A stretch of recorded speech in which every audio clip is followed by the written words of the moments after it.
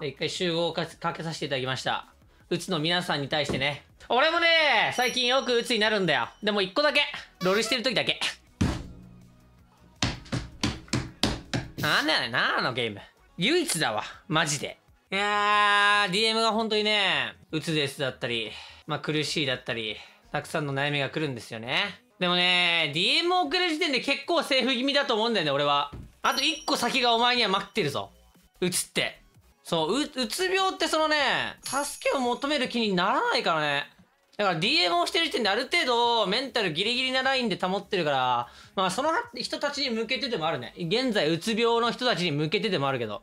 俺も人生で2回うつ病になってるんだけど、人に相談しようなんて気にはなんなかったからね、全く。風呂も、1週間に1回ぐらいしか入んないで、水を買い込んでね、寝室にこもって風呂入んないでずーっとぼーっとしたり漫画読んだりすんだよ。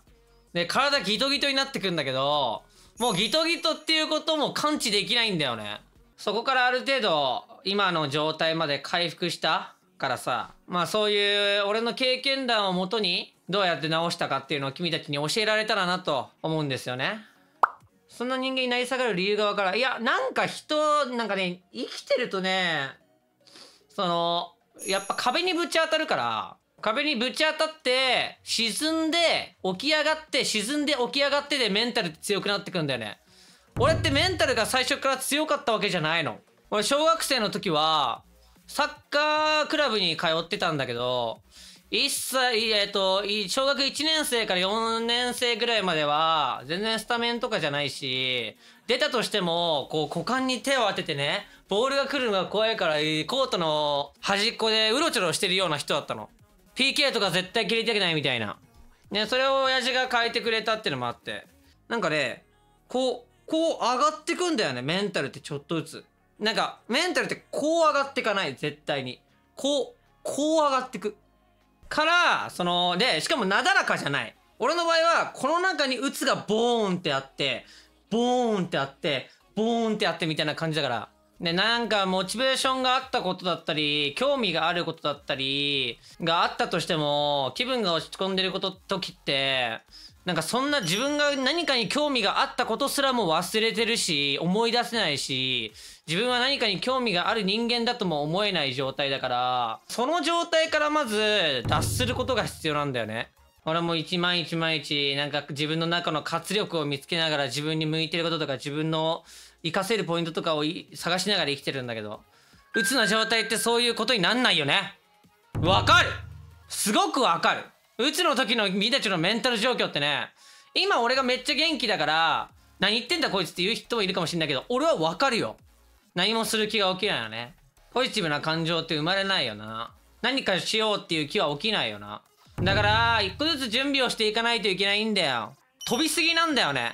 今、君たちがうつ状態のところから、何々をしようっていうところって、実は何個も何個も階段があるんだよ。こう、紐で繋がってんじゃないの。こう階段があって、1段、2段、3段、4段、5段で何かしようなの。なのに君たちはここをジャンプしようとしてるから苦しいわけ。だから、うつ病を改善するためには、この階段を一個ずつ上がっていかないといけないの。で、基本的には、俺が、その、なんだろうな、DM を受けて、状況を聞いたり、たまに返信したりするんだけどね。そういう人たちの生活とか、状況とかを見ると、どうしようもないね。なんかその、障壁に当たってる人もぶっちゃけいる。で、そういう人たちに関しては、のり的は、俺は具体的なアドバイスには、アドバイスはできないよ。虐待とかね。でも、それには抗わないといけないからさ、結局は。どんなに苦しい事象があったとしても、抗わないといけないんだよね。その、親が虐待をやめてくれるのを待ってると、お前の人生って終わっちゃうかもしれないんだよね。例えば、なんか人生の中にさ、お前がどうにかできること50%あって、な、どうにもできないこと50%あったとすんじゃん。親の虐待って50%のどうにもできない方じゃん。こっちにかけちゃったらさ、人生そんなのわかる。だったら、もう、どうにかできる自分の部分をどうにかして準備しといて、50%、自分の中の50点を満帆にしといて、後のその不確定の方をもう運ゲーにしとしとけばよくない？なんて言うんだろうな、この、この、この俺の理論ってどうやって伝えればいいんだろう自分で決められることがとりあえず50%あるんだよね。人生って。自分でどうにかできる方の50%を準備しておくことしか人間ってできないんだよね。だからこっちのために動くしかなくて、この不確定のための50%の方に労力を費やしてしまうと、無駄なんだよね。もったいない。ね、さっき言ったまあその階段の登り方の話をしたじゃん。えっと、俺が鬱を治した時に、えっと、階段を一つずつ登っていった感覚があったから、君たちに共有しようと思うんだけど、まず、ネットゲーマーの人たちがなりがちっていうのは実際そうで、なんでかっていうと、このゲームっていうコンテンツ自体が夜更かしをしやすいから。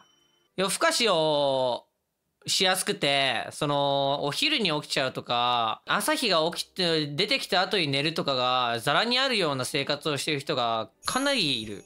ところが、まず問題点としてかなりでかい。人間って、日光を浴びるようにできてるんだよね。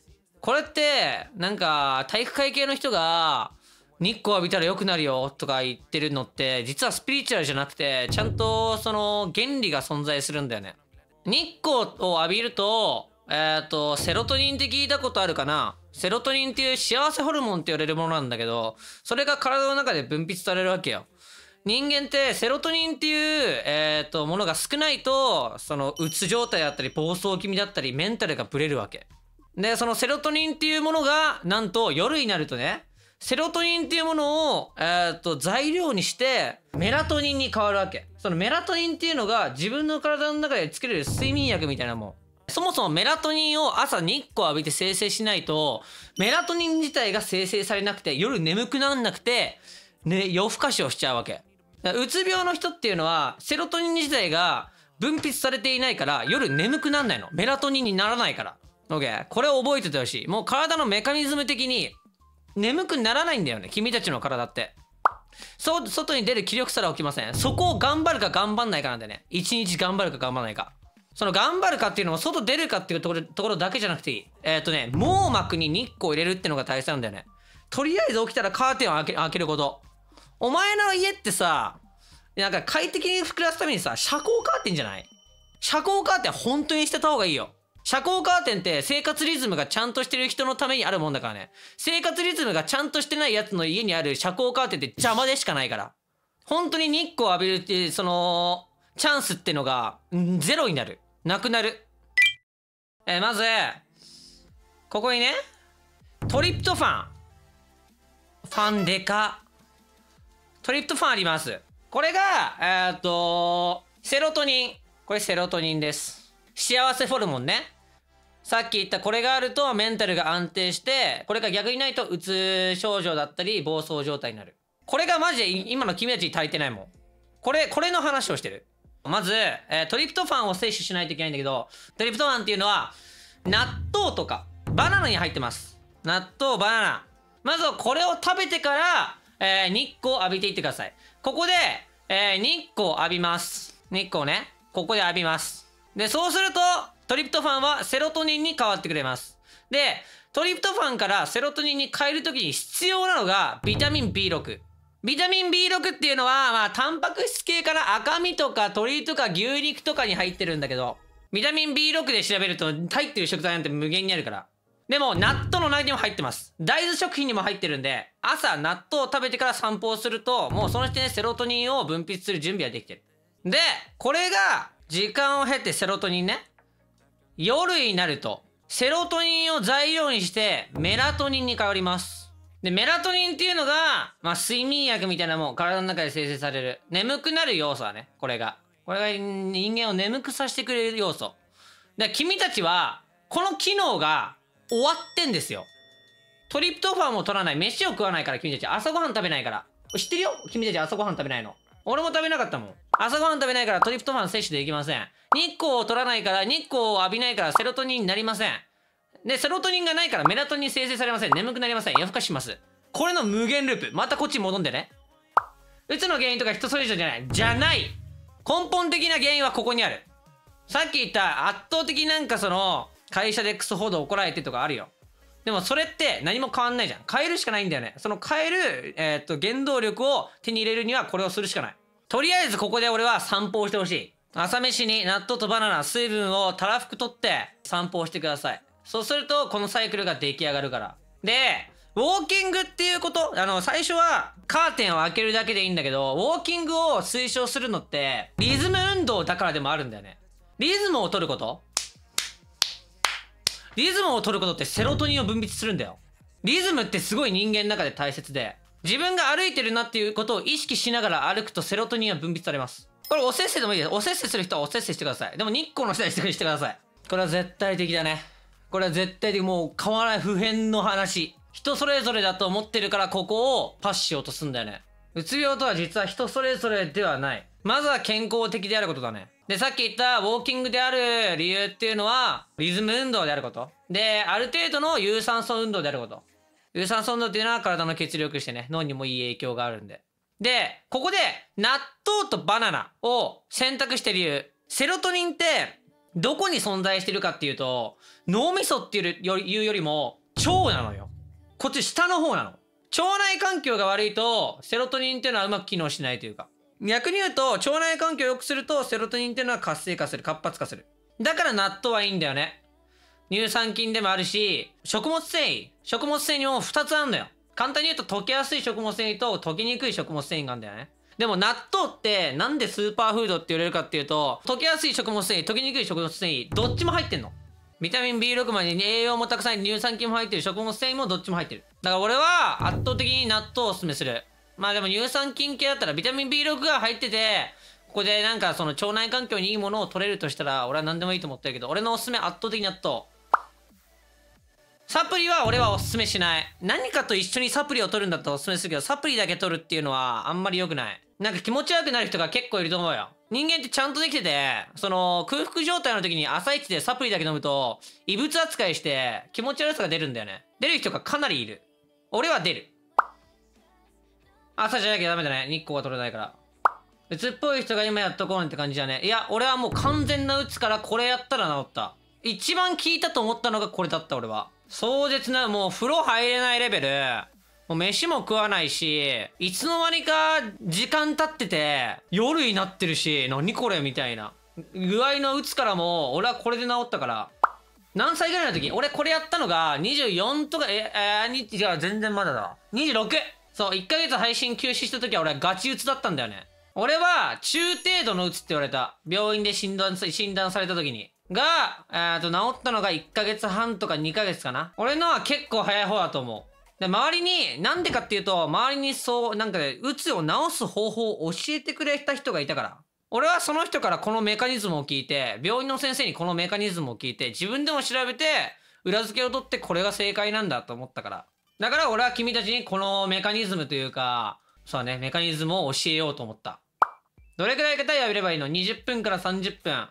網膜に入れるのを意識してほしいんだよね。頭で浴びるとかじゃない。皮膚とかから摂取できないから、ほぼ。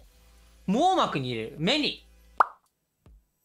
取った方がいいよ。てかサプリ自体って、取った方がいい。なんでかっていうと、気分の問題もあるから。その栄養素的な問題100%あるんだけど、サプリを取ってるからいいことしてるなっていう状態ってマジでメンタルにいいんだよね。うつ治ったサインとかあるの分かるよ、自分で。全然違うもん。何かをしようって気になるよね。だからそもそも朝起きた時に、ウォーキングに行こうってナチュラルに思うと思うよ。自分が打つか分からない。それを感知するのってどうやんだろうそこはちょっとな難しいよなだから活力がわからなかったら俺はなんか鬱だと思った方がいいと思うけどね。うん、俺はそれから始めてほしいかな。